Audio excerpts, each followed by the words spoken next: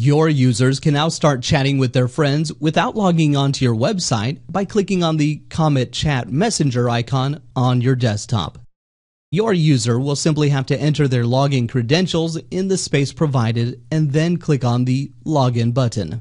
To chat with a friend, your site user will have to click on the Friends tab and he or she can right away start chatting. Simultaneously, they can chat with other online friends and access all the plugins in Desktop Messenger as available in the website's chat bar.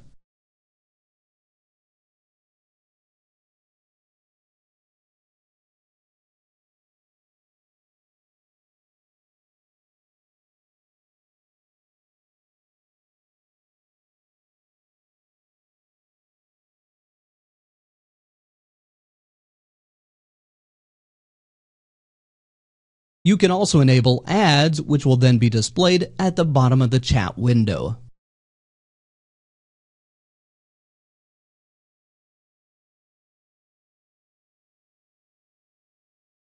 To sign out from CometChat Messenger, they will simply have to click on the Sign Out button.